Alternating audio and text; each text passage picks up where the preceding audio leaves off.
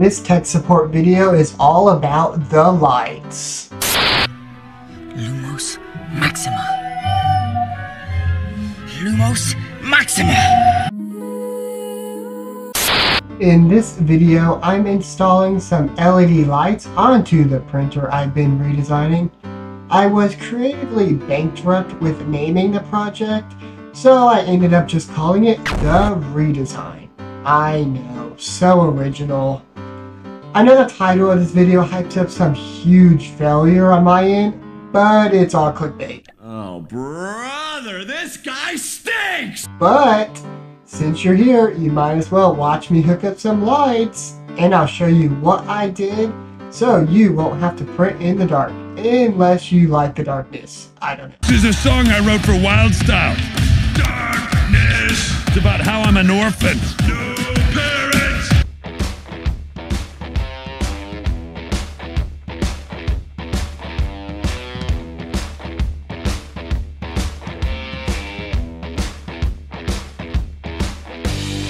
One technique to install LED lights onto your printer actually draws inspiration from the Qidi X Smart 3 printer. If you have one, you'll see the lights turn on immediately after the power switch is on and the light will illuminate the build volume while printing and even for a few minutes after finished printing. But they will turn off after a set period of time. This can actually be achieved fairly easy. Now, I say fairly easy, but it's going to be a firmware heavy solution. And if the statistics are correct, this is probably your first time watching one of my videos. And for that, I'm sorry. Please subscribe though and come back. In Marlin 2.0, basically the firmware that is controlling your 3D printer you can create a cooling fan from the define use controller fan code in the advanced configuration section.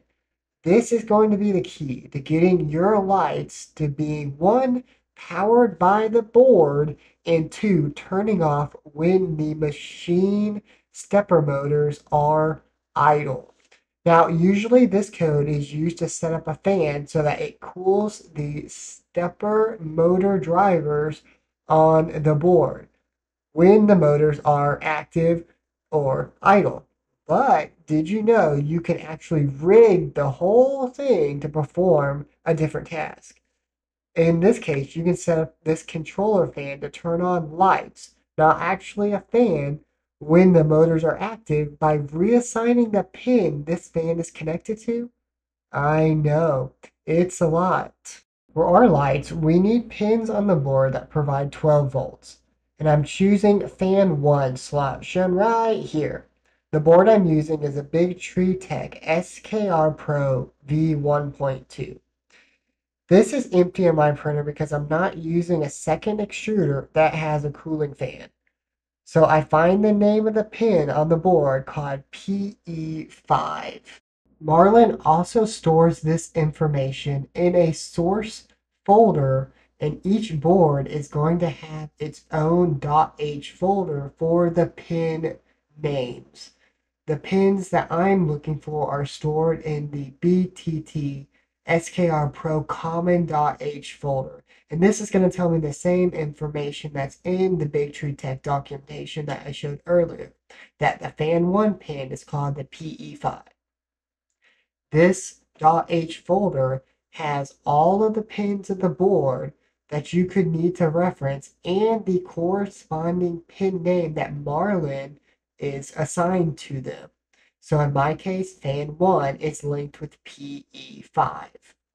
Now that you have the pin name, you can just go to the configuration advanced.h folder and this is where you're going to find the section to set up the controller fan.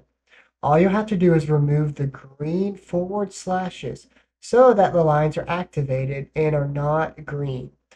On the define controller fan pin, this is where you're going to want to put that PE5 or the Marlin name of the pin fan1 underscore pin, it's all the same. Also, you can set the power level to full voltage 255 for when the motors are active and your printer is running.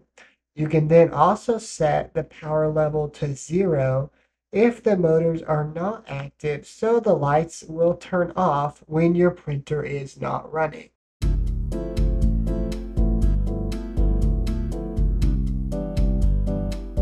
The LED light strip was pretty easy.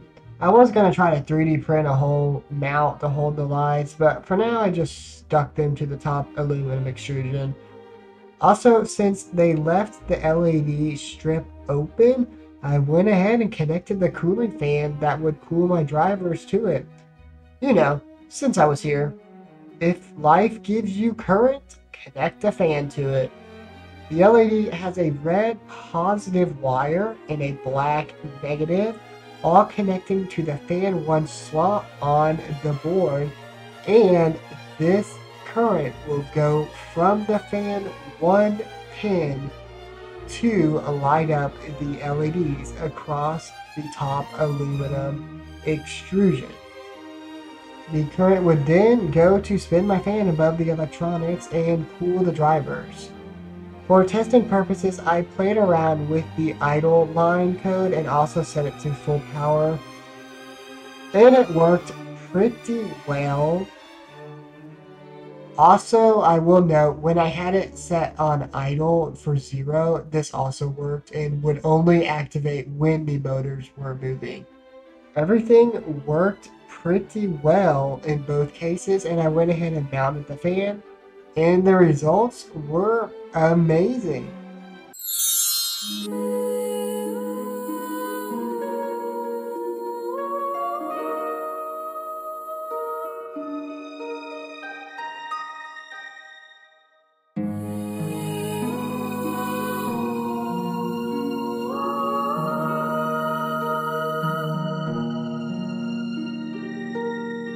Okay, there was one problem. Entertained? Is this not why you here? So I thought I went full Clark Griswold with the lights and all the electronics I had put on my printer. When I was doing some initial testing, I had the lights come on as normal. But it was when I turned the print bed heater on that I noticed it. The flickering. You can see the flickering and it drove me crazy. But still, it's not the worst thing that could happen to you when you try to turn on your 3D printer.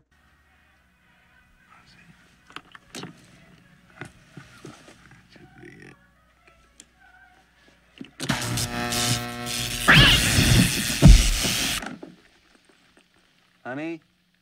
So why is it doing this? The voltage to the board should be independent of the voltage that goes to the stepper motors and to the bed heater. So the bed heater and any component that is powered by the board directly should be independent of each other. I checked the power supply to the board and this is showing a 12 volt in.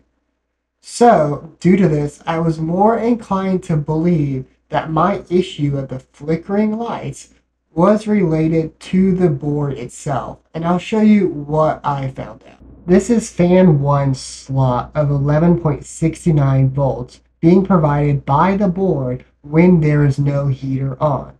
Now watch as I turn the print bed heater on. The fan 1 voltage drops to 10.91 volts. Thus, we get flickering lights.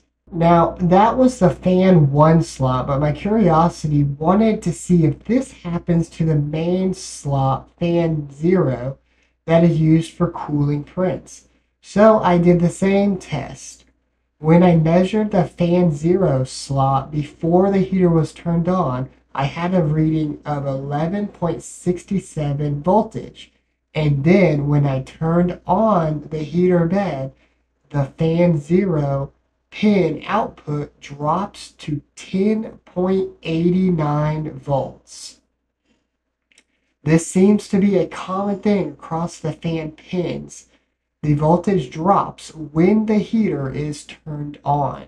For these lights, I need a more consistent voltage that is supplied without any drops to avoid these flickering lights.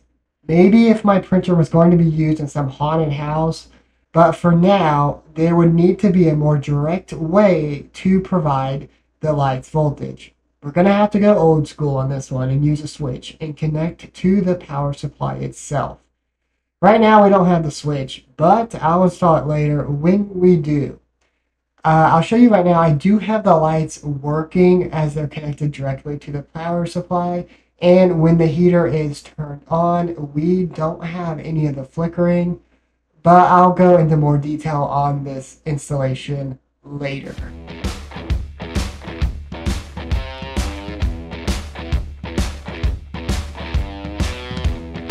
Thank you all for watching this video. Be sure to like and subscribe to my YouTube channel so you don't miss a video. I hope you had a laugh and enjoyed the content. Leave a like and a comment below. Check out my links that are listed in the description. I hope your 3D printing is awesome and I'll see you all in the next video.